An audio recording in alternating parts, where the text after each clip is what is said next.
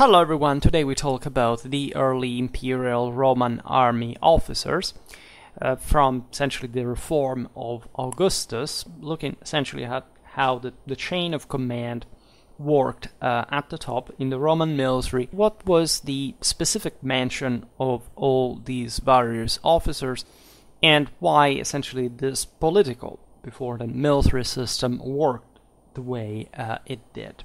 All right. So Augustus uh, made multiple videos about him, but of course we still have to frame the entire, say, epochal change that came together with essentially the most um, accomplished politician in the history of mankind. Um, you have a stabilization of a permanent professional army uh, across the frontiers mostly, but also for the defense of specific imperial, that is, um, personal assets of, of the monarch, uh, separated from the, the ones of the senatorial provinces, that represented a bit like the cornerstone of the strategic stability of, of the empire. I made a video also on the quality of Roman leadership. Uh, we have observed just recently how the Roman army was fundamentally born with the very strong conviction that the uh, richest and more powerful uh, Roman citizens were essentially to carry the burden of the greatest responsibility as much as the uh, the, the, highest offices accordingly. Uh, and this is exemplified by the establishment that carried out the clamorous Roman conquest of the Mediterranean and of Europe, all right, and that was in fact founded properly uh, to that extent under Augustus. It really gave a um, also European dimension to the empire, not just a Mediterranean one overall, and would in fact go as far as essentially molding the especially the western provinces that were also the ones providing with the greatest um, manpower uh, historically. That's also in part how Augustus had won the, the civil wars uh, himself in the West. Um, and so the individuals that covered the command posts were particularly, say, representative of not just the the, elite uh, itself, but of a conviction that, of course, in order to be in that place, uh, they had to say uh, to embody certain specific qualities of Romanity, so the same spiritual ones that had brought the the empire to the world conquest.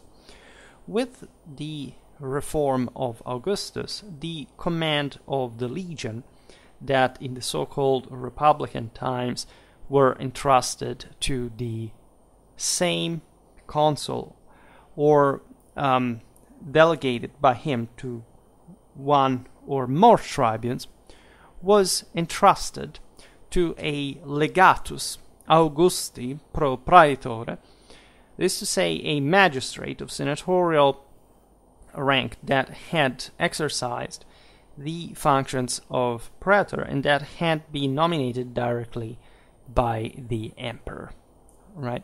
So when here we will encounter different uh, magistracies offices etc so we know uh, what what we're talking about in the consul the consul had this highest um, military uh, authority uh, in uh, in Rome, right, together with this political one as the commander in chief of the Roman army. Right, he was responsible for leading military campaigns, protecting Rome from external threats. This was a collegial magistracy, which meant that there were two consuls uh, at the same uh, at the same time. However, in early imperial times, the consular command function was largely symbolic, as the concrete military power was often concentrated in the hands of the emperor and his appointed generals. So the, the consul also had some ceremonial duties, such as leading processions and conducting sacrifices. This had naturally limited the original political rather than just military power of the consuls and of the proconsuls that, as you know, were essentially sent uh, to the various provinces in order to enforce the de facto uh, control of the same, and the fact that this had become even say, more important um, in, in the later uh, Republican period. The tribunes uh, remained there, right, because the uh, administrative management of the legion contemplated the legatus to be assisted, right, by in fact continuity with the tradition of the republican legions by six tribunes, right. One was of senatorial rank, the tribunus laticlavius, um, that was virtually com- second in command, really, and five of equestrian rank, known as the tribuni angusticlavii.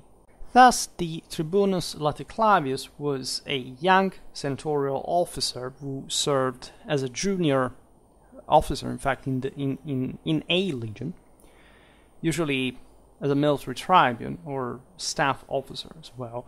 Um, this depended, of course, on who he was, how he had gotten there in the first place. Everything was coordinated um, politically, right? This was the say next generation of commanders, and that's why also they had to rise uh, through the through the hierarchy in these mansions. Uh, the Tribunus Laticlavius was called like this because he wore a broad purple stripe, that is to say, in fact, the latus white clavus um, on their tunic, a symbol essentially of their rank uh, and status. And he was responsible for various tasks, such as uh, supervising the legionary discipline, right, training, um, instruction of new recruits, uh, and the organization of logistics and supplies. So that's quite an experience, of course. The Tribunus angusticlavius, instead, was uh, an equestrian officer serving uh, also as a staff officer's assistant of the legatus legionis, the commander of the legion, and they uh, th- this um, tribuni were selected from the aristocracy. They distinguished uh, were distinguished by a narrow purple stripe, the angustus, in fact, clavus on their tunic and the tribunus angusticlavius assisted in administrative and logistical matters, as well as coordinating the legionary military operations uh, and such. All right.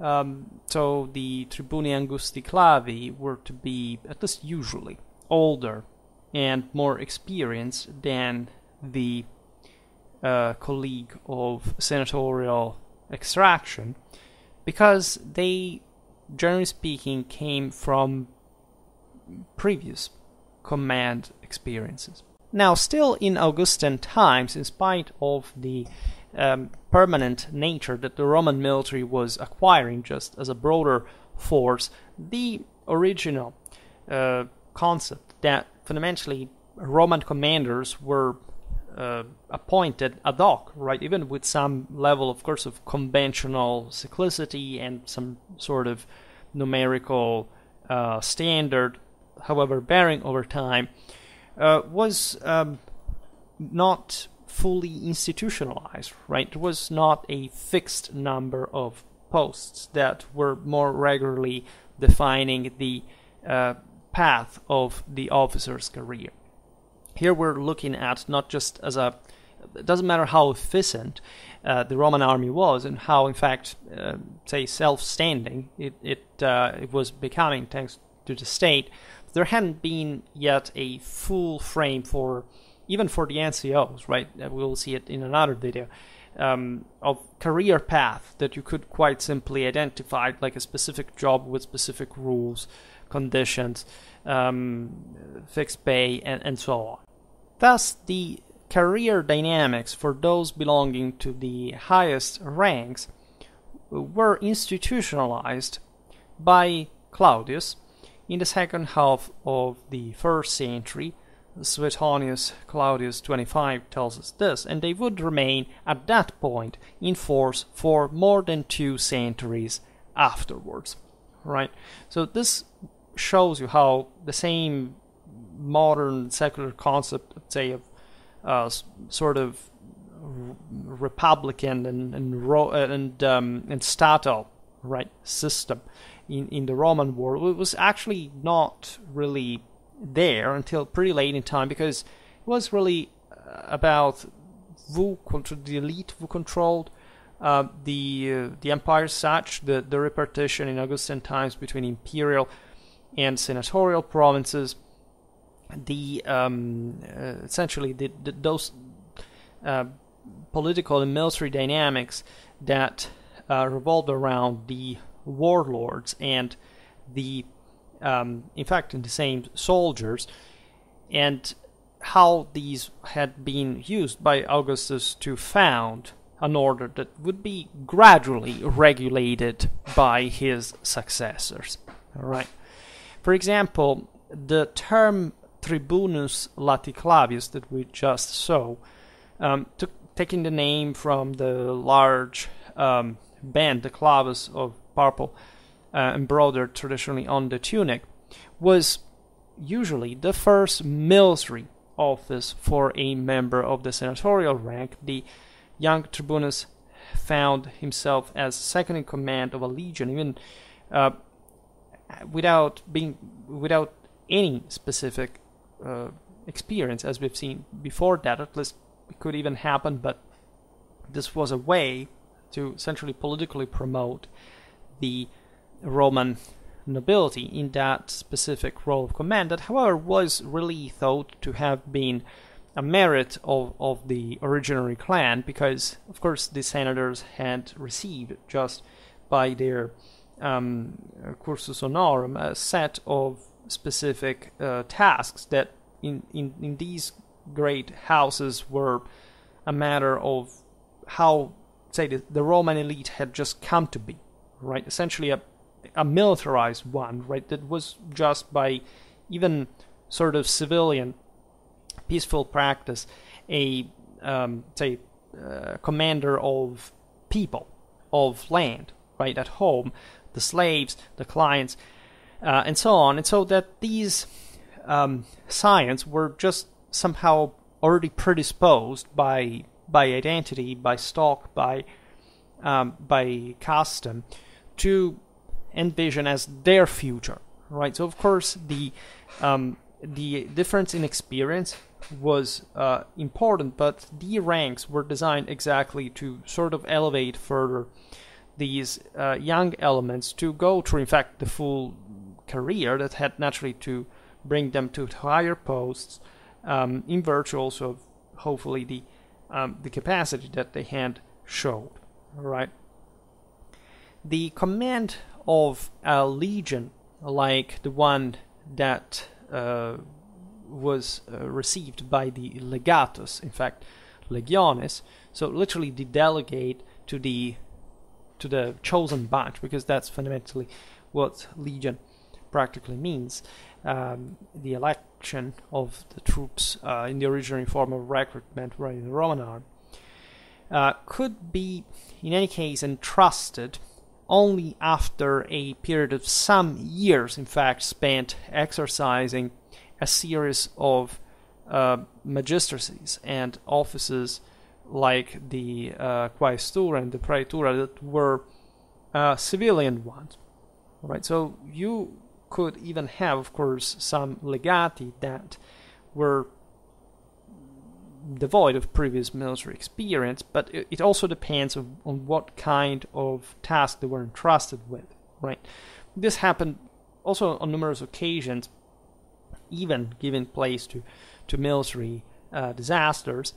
But the system uh, still worked, and this is something you want to appreciate, also considering the fact that throughout most of the early empire, the Roman legions didn't really have much of a of an intensive continuous employment. I mean, they had a deterrent function that was enough just per se to tame the, the, the populations that lived uh, from this side and the outer part of the so-called uh, limes that was not even, in fact, known as this by the Romans that considered the legions as the munimentum, right, as that sort of force capable of extent projecting uh, morally and strategically across a much broader space than, in fact, what the, the same what we think geographically the Roman Empire to have been. Um, usually, the legatus of a legion exercised the command for two or three years.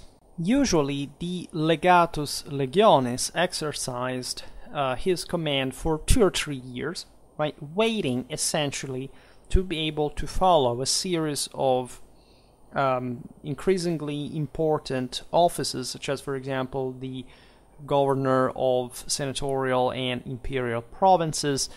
Um, so, as we've seen again in the aforementioned video about the quality of Roman leadership, the point, right, from from a cultural point of view, where the Romans made essentially made their elite, their ruling um, establishment, um, passing through such military tasks, eventually for a career that would have not culminated with that, aside from reasons of political, uh, in this case, stability, and so also of central control, as we will see now through some even equestrian um, elements at the head of some of the most strategic uh, lands uh, of the empire, was the original, traditional one of say, proving through the same military experience to be able to wield the Imperium, so managing a series of tasks that were indeed um, challenging, right? You could have it easier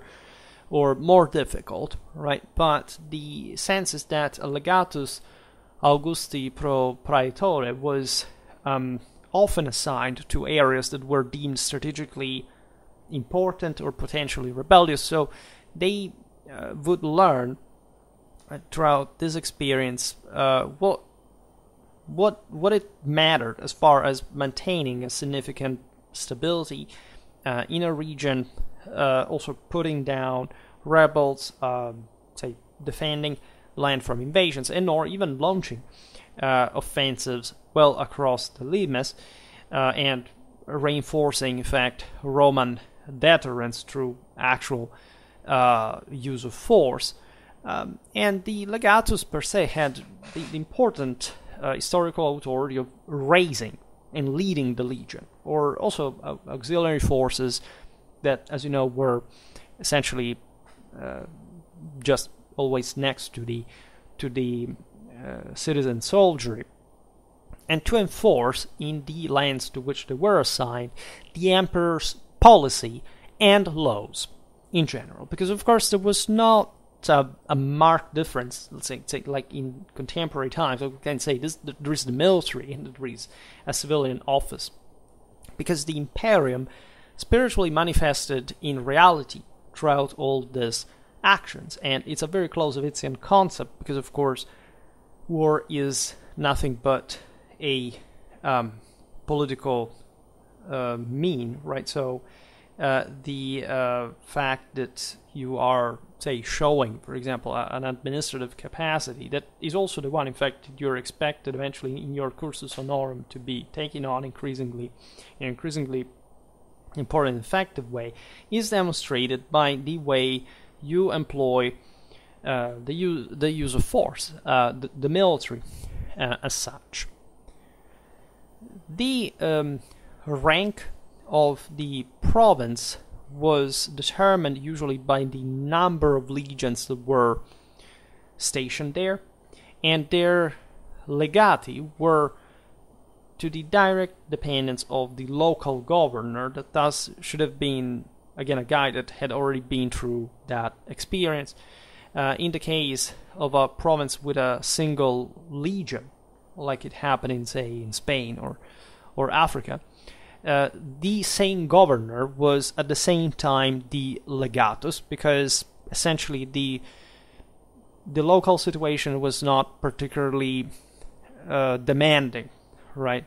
Also, from a strategic point of view, uh, differently from, say, you know, the, the Rhine, or Danubian, or Mesopotamian frontier, right? that were surely more problematic.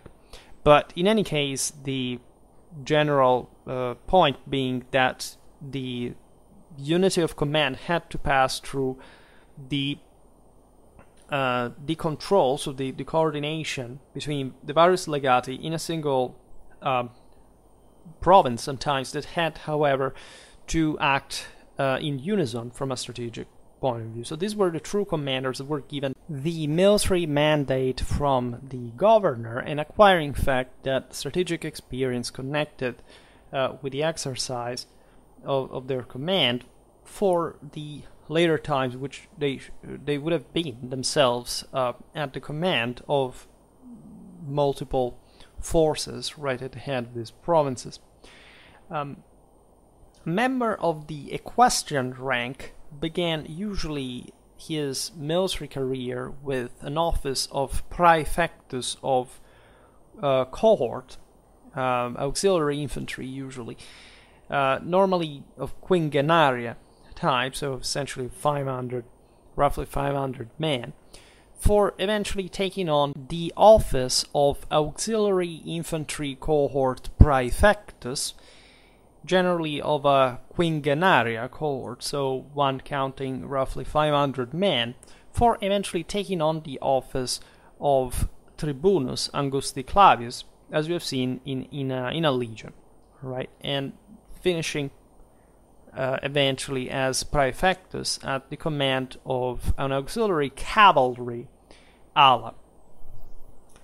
Uh, this path was institutionalized by Claudius as well. It was uh, known as the name of tres militiae, that is to say, the three militias, fundamentally, deriving from this uh, uh sort of uh, command of uh, different chunks of the legion, fundamentally. And also in this case, it was propedeutic to the achievement of further prestigious civilian and political offices, right? Through the career of procurator, that is, governor of provinces not garrisoned by legions, it was possible in theory to reach the important position of Praetorian prefect, the Praefectus Praetorio, that is to say, the commander of the Praetorian Guard and of the Square of Rome, right? This uh, highest office reserved to the equestrian rank. Otherwise, you could uh, reach the same uh, the same uh, hierarchy. Alternatively, it was possible to cover those offices also uh, through the centurionate and the primipilate, that is to say, um, as a centurion and even more as a centurion primipilus, that is the first spear centurion, the centurion, the first cohort of the legion, so the most important. Uh, he was actually an officer proper, right? Differently from the the other centurions who were NCOs, right? So that, that's why we covered them as well. Um, and this was, however, overall, the, from the centurionate in general, a theoretical option also for those few that, albeit not coming from the equestrian ranks, could obtain, in fact, the office um, of primus pilus. And this is fascinating because uh, it shows how the Roman army really offered, in theory, to say even the to the last of, of the Roman citizens the opportunity through this astonishing feat of the primipilate that basically equated in wartime that you had risen through the ranks as the single most competent fighter and NCO of, of the entire legion, right? It means you had easily killed uh, hundreds of people by your own hand in different ways, not necessarily just in combat, but you know you, you would have seen really a lot of stuff and surely a lot of action uh, in the first place. Uh, and this um, was um, was a, was an opportunity for, for, also those who were not equestrians, right? But regarding the equestrian career in itself, you realize that um, it also mirrors, in fact, the, uh, the, the senatorial one in this relation uh, with it, as its um, also military expertise was fundamentally a bit more in between. Like the equestrians were traditionally, as you know, the the knights, right? Um, and there was here, as you see, some cavalry command.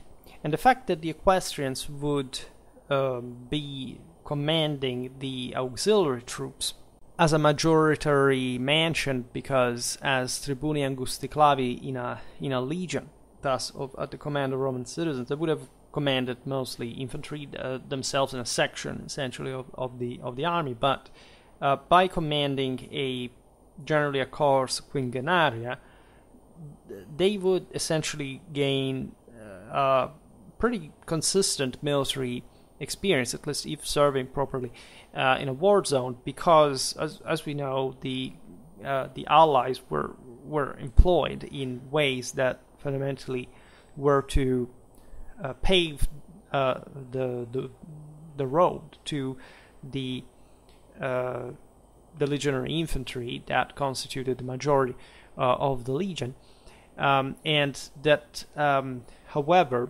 uh, even as the, the most punching force uh, would be employed just in, say, sort of definitely bloody engagements, but cleaner from an operational point of view, that had to be again um, created as a condition by the auxiliary forces, right?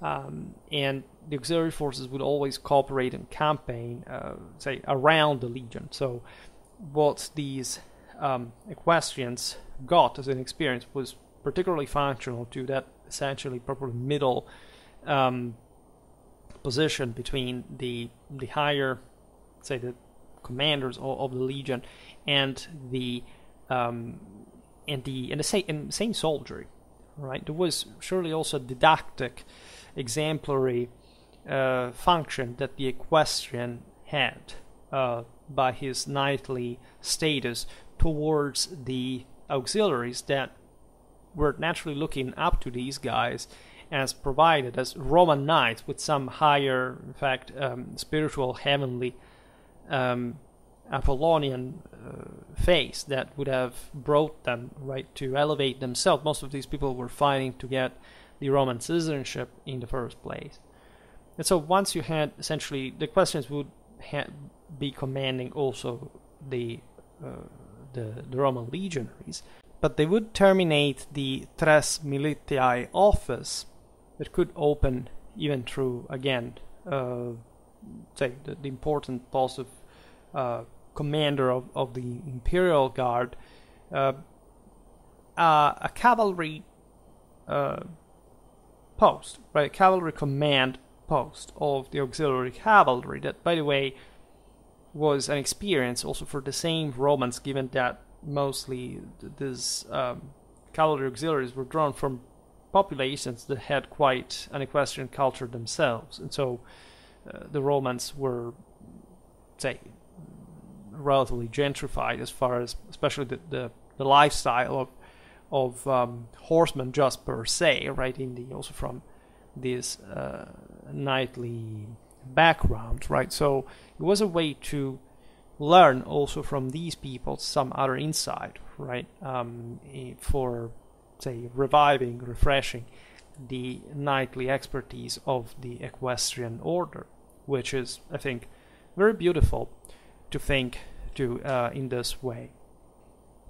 The tasks of the tribunes, in continuity essentially with the republican tradition, consisted especially in the ordinary management of a legion, and in particular in the administration of justice, and in the resolution of organizational, logistical problems um, that could, however, leave um, space also for tactical ones, which uh, could be, in fact, tasked to the to the legatus such as the command of one or more cohorts, or um, tasks of, say, civilian type to support the provincial governor, which essentially entailed some police function, which is also interesting because, you know, the, even when provinces were pacified, uh, well, don't think that everything was smooth in the sense that this was still a largely feudal world of some sort that required to enforce the law to solve uh, you know the, the, the, controversies within the same system there could be rebellions um, also take guerrilla stuff like that. So um, th- it was a hell of an experience just to be uh, within these ranks. And as you understand here, it's fascinating to see how the Roman army was de facto commanded by senators and equestrians, right? And you could barely have any other chance if you're not were not part of it. But it, it illustrates the hierarchical nature of the same. And so this was important as far as the, the discipline, the the drive, the the vision of the Roman army was concerned. The entire system, in fact, was designed to self say perpetuate the same values and this sort of um, mutual support from the, the even the unequal components of of this uh, of the of the Roman armed forces, right? Even you see the the sen- the senatorial uh, and uh, the equestrian orders, the the Roman citizenry and the uh, the foreign troops, all right. Uh, from much later times, there is uh, an interesting passage from the Digestum of Justinian. this is um, uh, 49 16 to 2 right this legal collection says the task of the tribunes naturally was not the same but that's also in part what we know about um, the former say the, the, function of the tribunes in the former centuries.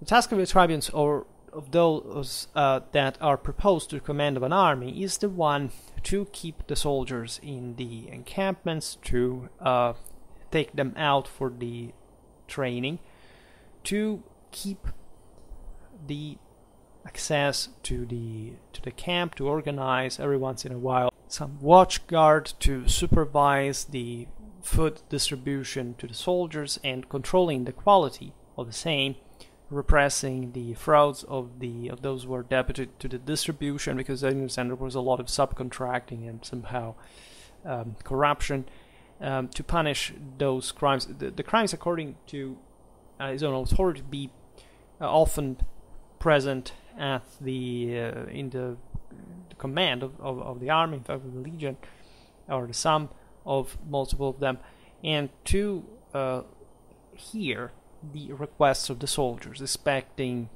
the hospitals. So, say it was were a bit like fucked out of the situation.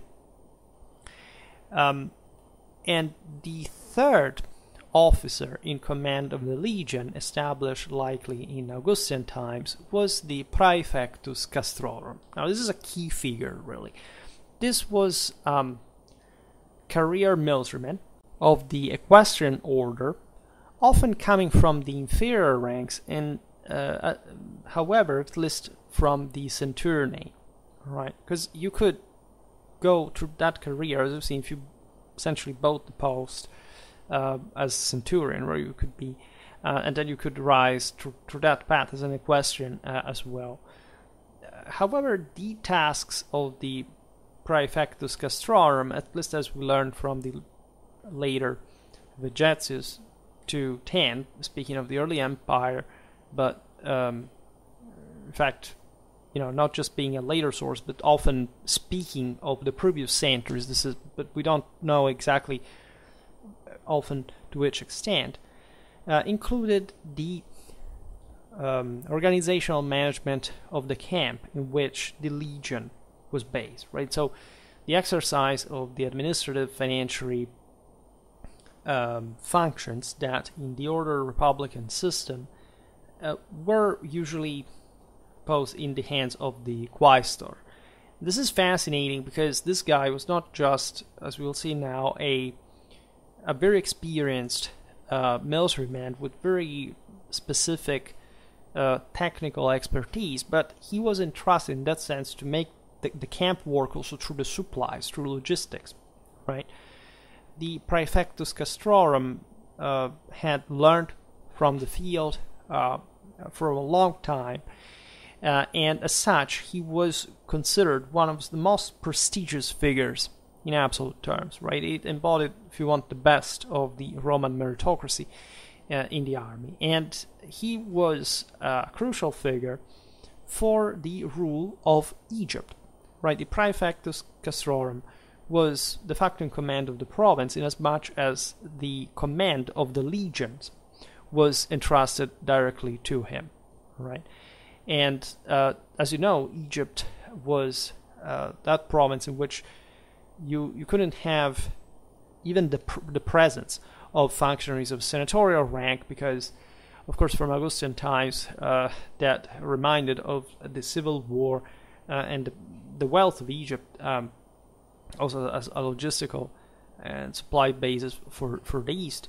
Um, the say the, the fight against uh, Rome had been carried out, and so um, legitimately emperors had essentially maintained control of uh, this land through uh, a trustee and avoiding any any senator to have to, to develop some clientele connections etc uh, that could bring him to the, anywhere near to the political or even uh, more dangerously military control of this region that uh, was imperial in any case, so the settlement had already been uh, established in that sense. So we can make a um, sort of recap of this uh, career path because it's very illustrative of the the actual hierarchy and how it worked.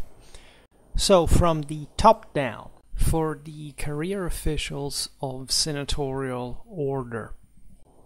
Proconsul provinciae, that was a former consular governor of a senatorial province, and at this point, institutionalized, we're talking about, say, the ones who would remain, um, there would be two, uh, two posts. Uh, proconsul was essentially, again, a former consul and senator appointed to govern, in fact, the province of the Roman Empire. And the, say, especially imperial times, that were usually assigned to more important and larger provinces where they had significant military, administrative powers, including the command of the provincial army and the ability to impose taxes uh, and laws. Then you would have the legatus Augusti pro praetore. These were um, governors of imperial provinces with three legions and there were three posts for this. Um, and uh, legatus, as we've seen, was um, the, the, the legatus pro praetore was a senatorial officer appointed by the Roman emperor to act as his representative, de facto, consistently as a military commander in a province or region, and somehow still, uh, by some degree, more important than, than the same um, consul in practice, right? They had the same rank as a provincial governor, but were often assigned to areas that were deemed strategically important or potentially rebellious. They had the authority to raise and lead a legion or an auxiliary unit and to enforce the emperor's policy and laws. Uh, then you would have actually another, uh, say, a lower um, legatus Augusti pro praetore, uh, that would be the governor of imperial province, but with two legions, and there were eight posts of this guy. Then you would have uh, two consuls, as it had been always the case for this collegial magistracy. So, as the highest ranking magistrates uh, of, of, the Roman Empire, at least in a, in a traditional fashion, elected annually by Roman Senate and people. And one of their main functions uh, had historically been, of course, the command of the Roman armies, either in person or by, in fact, delegating, as it's more the case in this period, the role to a legate or praetor. Right? They were responsible historically for maintaining law and order in Rome as well as in the provinces and for conducting diploma- uh, diplomatic uh, negotiations with foreign powers as well, which, as you understand, also from a political and strategical point of view, is quite fitting. Then you would have under the consul other uh, another other type of legatus Augusti pro praetore as governor of imperial province with one or no legion, and there were twelve posts of this guy. Right, this is particularly interesting Uh, and uh, this would mean, consider that a Roman legion was uh, essentially five, 5,500, around from five to 6,000 soldiers at this point.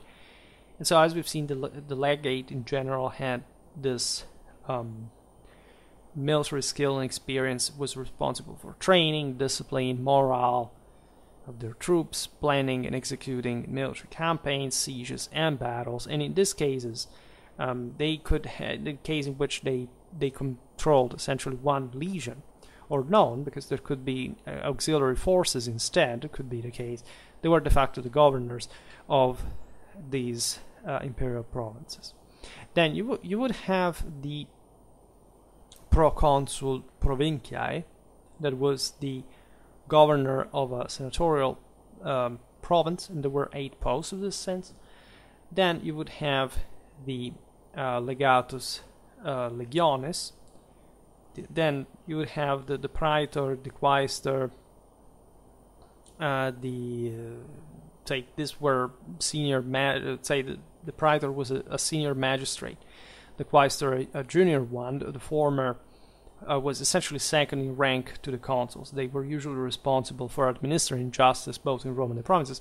It's very important because they were provided with, um, you know, say, the, in, the, case of the praetor, with uh, the imperium as well. Right? Um, they supervised, generally, however, mostly public and private contracts uh, and transactions. Some praetors had were given mil- military commands such as the governorship of a province and leadership of an arm.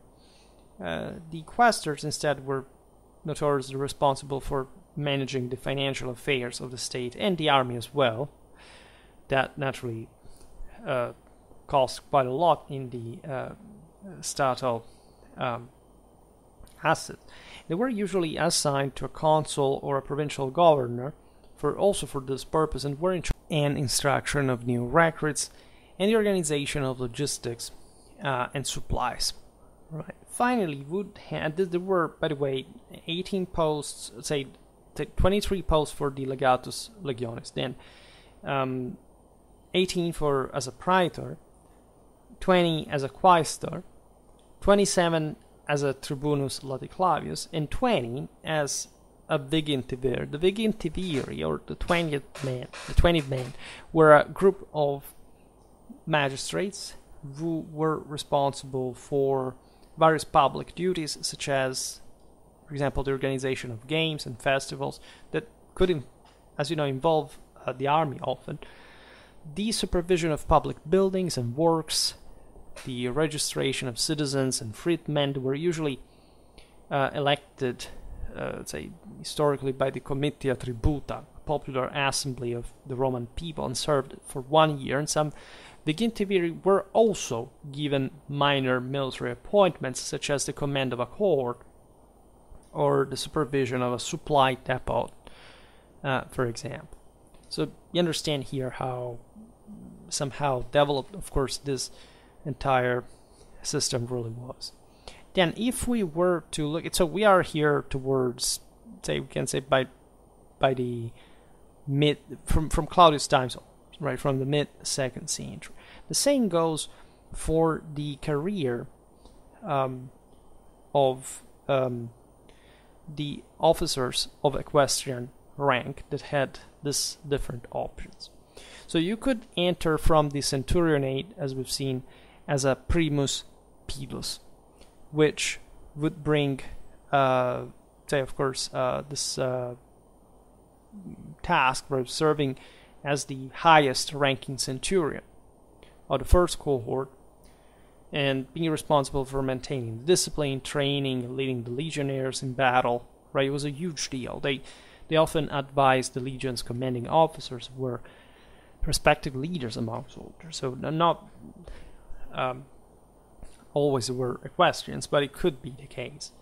From there, you you had uh, two options. You could um, become either primus pilus iterum praefectus castrorum, which was essentially the uh, again the office of primus pilus that after completing the, his one year term in that role was appointed to the prefect to be the prefect of, of the camp, uh, which meant a lot, as we've seen, because the praefectus castrorum could come from, uh, in fact, very humble background, and but being literally the top guy of, of the legion as a as a soldier, uh, and or through this equestrian path, were responsible for organizing and supervising the construction and layout of a military camp, ensuring effective fortifications and logistical arrangements. Otherwise, from the primipilate, you could become the tribunus cohortis vigilum, which is interesting because the this guy was essentially an equestrian officer who commanded the cohorts within the cohortis vigilum, that, as you know, was essentially the urban fire brigade of Rome. And they played a crucial role in the fire prevention, emergency, uh, emergency response, and maintaining public safety within the city, overseeing the training and the organization of the same cohort of, of firemen, practically, that had some police purpose as well, so anti-riot, sort of anti, sort of urban guerrilla, uh, in a way, from which you could advance as Tribunus Cohortis Urbanae, which um, was the, in this case, the, the equestrian officer who commanded one of Rome's urban cohorts, and these cohorts were responsible for maintaining peace and order within the city, policing the major events, and providing security to the higher ranking officials. So they acted as something more, also as bodyguards, right? Um, and the, the, the tribune um, also oversaw the, the, training, the deployment, and discipline of, of the cohort. The further step ahead was the Tribunus Cohortis Praetorii, which was the big deal, right? This was the guy who commanded um, one of the cohorts within the Praetorian Guard, and they operated as uh, the, uh, essentially the right hand assistants of the Praefectus Praetorio and were involved in all aspects of the Praetorian Guard's operations, including security, military campaigns, and internal administration. Um, from this, uh, you the from the Tribunus Cohortis Praetorio, you could be elected also as Primus Pilus, pilus Iterum Praefectus Castrorum. So you could have this sort of uh, career even in the Roman, um, essentially guards, police, and firemen, and becoming a Praefectus Castrorum, which is quite fascinating. Now, from there, you could become a procurator. So this the, the procurator was uh, was a equestrian officer serving as financial administrator or agent of the Roman emperor, right? While not strictly a military officer, certain mm, procuratores oversaw financial affairs directly related to the military, as you can expect, um, and, and, such as, for example, the meaning of finan- uh, managing of the finances of a legion or overseeing the provisioning of the troops. Now, you could become a procurator through, as an equestrian through another path that could start from the um, the direct entrance as an equestrian to the um, uh, to the post of praefectus cohortis quingenariae. Now, this guy was an officer commanding a quingenary cohort. As the name says, this, the quingenary cohorts were auxiliary units in the Roman army consisting, that's in the name, uh, approximately 500 men. And the praefectus cohortis quingenariae was responsible for the training, administration, and discipline of these auxiliaries, um, from which you could be promoted to either the tribunus Angusticlavius. So, serving as a staff officer or assistant to the legatus legionis, the, the commander of a legion, selected from the Roman aristocracy, again distinguished by the narrow purple stripe, the Angustus Clavus, on their tunic, and essentially assisting the uh, in say logistical matters, coordinating the legion's military operations. Or you could pass from the prefectus Cohortis Quingenariae to the post of Tribunus Cohortis Miliarii, which instead commanded a military cohort. Right, so cohorts of auxiliary units comprising around 1,000 soldiers, and they were often used to garrison important provinces, because as you understand, they, they had a, sort of important defensive deterrent capacity, uh, but also uh, as being part of the emperor's personal guard, which is interesting. And the Tribunus Cohortis Miliarii oversaw the day-to-day operations and strategic deployments of these thousand uh, auxiliaries. From the aforementioned two posts, you could get into the uh, post of Praefectus Alae Quingenariae, that essentially was the equestrian officer commanding a, a quingenary ala. So the the Alae Quingenariae were cavalry units consisting of approximately 500 men, and he would um, say that the praefectus would lead them both in campaigns and routine patrol, ensuring their readiness, discipline, and effectiveness. You would be evaluated on this, right? Because promotion is, uh, of course, there is a sort of ether for which you're expected to go ahead, but it's not. Uh, you also have to be capable in this. From the Praefectus Alae Miliaria, you could become a procurator. At that point, you had two posts that you could reach. Um, the Praefectus Vigilum, so the officer commanding the Cohortes Vigilum, the urban fire brigade of Rome, that, as we've seen, is something different from the tribune as, that we explained before. Uh, these were responsible again for public order, preventing fighting fires, and overseeing criminal investigations within the city of Rome, or the praefectus annonae, so the officer overseeing the grain supply and distribution in Rome. While not directly involved in military affairs, uh, the prefectus played a crucial role in ensuring the food security and provisions for the population of Rome, including soldiers stationed there, and so he would acquire through this post some uh, significant um, uh, logistical uh, insight how to supply large amount of people uh, in the first place.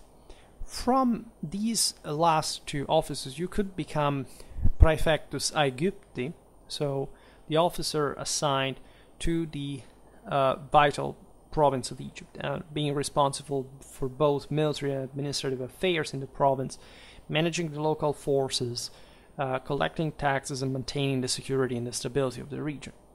From those aforementioned two offices, you could, however, also directly step into the office of praefectus, praefectus praetoria, so the, the equestrian officer commanding the Praetorian Guard, the elite imperial bodyguard unit tasked with protecting the emperor, made a video about, um, say, the, this, at least in the uh, Augustan order, among various other aspects.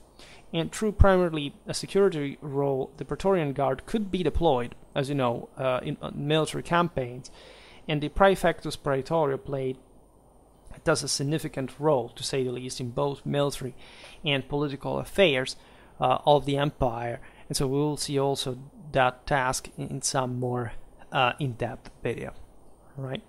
But this is fundamentally the picture, which I think uh, is the, the most brief sort of um, way of, of introducing these uh, officers' posts and their uh, their command, their uh, their mansions, and I think that uh, say it, it reveals a lot about the complexity. Let's say the the compaction, the the pervasive sort of um, uh, also competence, experience that these opportunities could this um, this command provided these guys with, aside from being opportunities for them, and so being also say just about not not a career because they were they belong to the highest orders, but um, really knowing what uh, the empire was ruled by, because through these commands, uh, the empire was was was ruled, right? It was de facto controlled, and so uh, I I think uh, it's quite revealing, and uh, we will get perhaps a bit more in the political depths of this in other videos hopefully soon. For today, however, I stop it here. I just hope that you enjoyed this video. If you did, please share it. Otherwise, leave a like or subscribe to my channel if you're interested in my upcoming content. As always, I thank you heartily for listening to me. I wish you a nice time and see you next time. Bye.